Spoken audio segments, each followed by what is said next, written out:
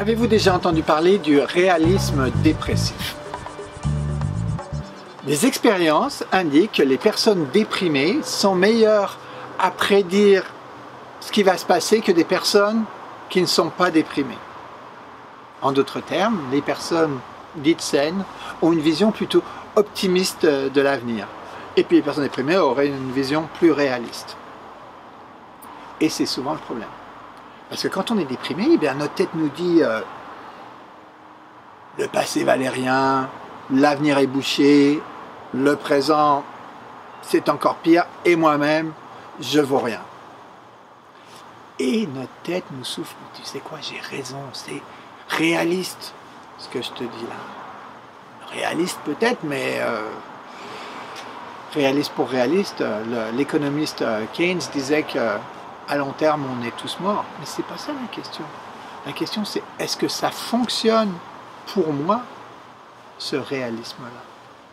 Et peut-être que la question que la vie nous pose, c'est pas est-ce que je vois les choses de manière réaliste, mais est-ce que je vois les choses d'une manière qui me permet de fonctionner au mieux? Et là, alors là, on a beaucoup de données qui montrent que la dépression, ça, même si a une vision soi-disant réaliste, mais ça ne nous permet pas de fonctionner au mieux.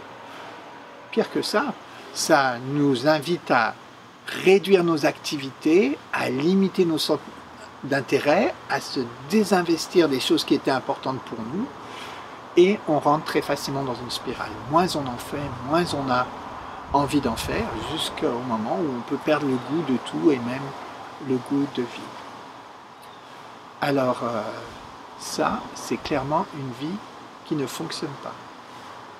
Plutôt que d'essayer de, discuter avec nos têtes ou avec nos amis quand on les voit déprimés, de savoir si ce qu'ils pensent c'est réaliste ou pas, si on était capable d'observer ces pensées, de les accueillir, d'accueillir aussi les émotions euh, négatives, souvent très euh, douloureuses qu'ils nous apportent, et de se tourner à travers nos actions en direction de faire des pas en direction des personnes et des choses qui sont importantes pour nous, bien ce qu'on découvrirait assez rapidement, c'est que quand on fait ça, notre vie fonctionne. On retrouve le goût et on retrouve la motivation. Donc, euh, vous voyez que le réalisme dépressif n'est pas si réaliste que ça, puisque moi je dirais que la chose la plus réaliste, ben, c'est de vivre une vie qui fonctionne. Et pour vivre une telle vie, il vaut mieux ne pas prendre littéralement nos pensées dépressives.